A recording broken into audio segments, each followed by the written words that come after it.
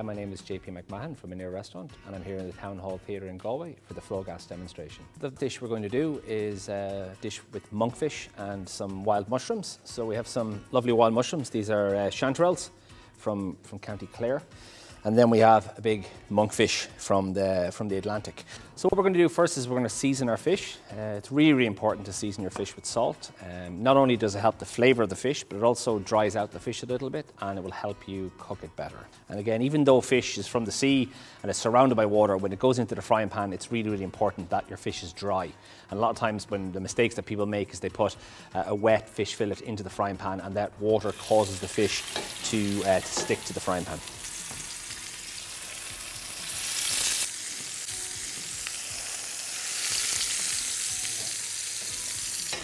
Now it's really important that you don't move the fish for the first minute because you want the crust to develop.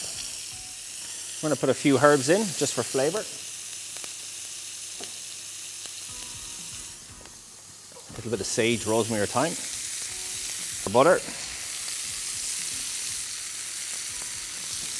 At this point, gonna, what we're going to do is we're going to baste the fish. So when I'm cooking fish, I usually just cook it on one side to brown it, and the other side I baste in butter and then I transfer it into the oven. So it might seem like we have a lot of butter. This butter is mostly for basting, so it's not in the dish itself.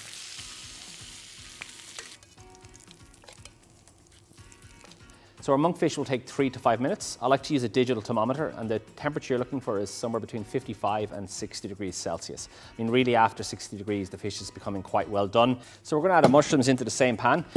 Your mushrooms, uh, mushrooms will absorb and a little bit of salt will help bring out the flavor. Add in a little bit of our butter. Just looking for the mushrooms to soften before we put the brandy in.